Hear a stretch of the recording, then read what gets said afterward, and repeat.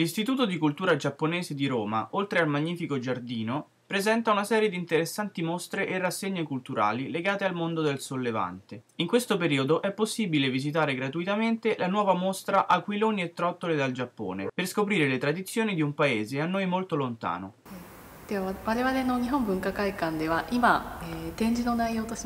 In questo momento all'Istituto Giapponese di Cultura ehm, ospitiamo degli eventi che potremmo mettere sotto l'egida di una primavera dei ragazzi. Ehm, siamo molto lieti infatti della partecipazione delle fasce più giovani ehm, di pubblico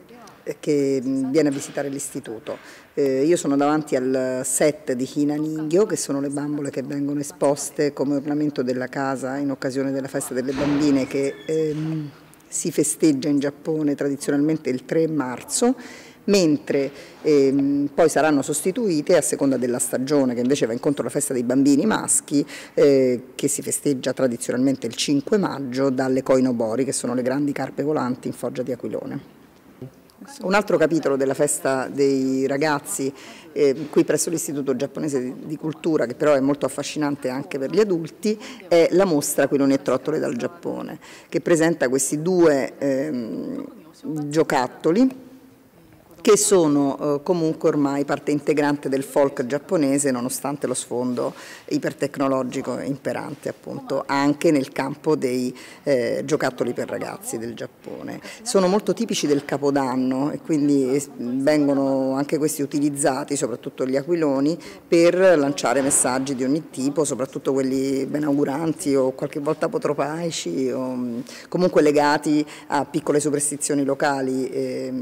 sempre intese ad augurare l'anno migliore per tutti eh, in varie zone del Giappone e così avviene per le trottole che sono sempre via via meno utilizzate ma che una volta avevano eh, una valenza culturale molto molto importante.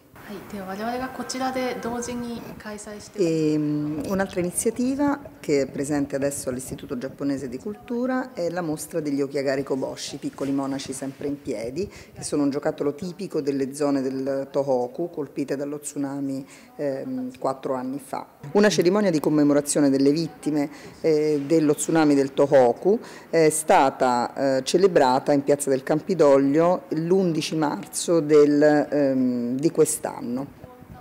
alla presenza dello stilista Kenzo, ideatore di questa iniziativa eh, dei piccoli monaci sempre in piedi, del sindaco di Roma e di altre autorità e personalità eh, giapponesi e mh, italiane.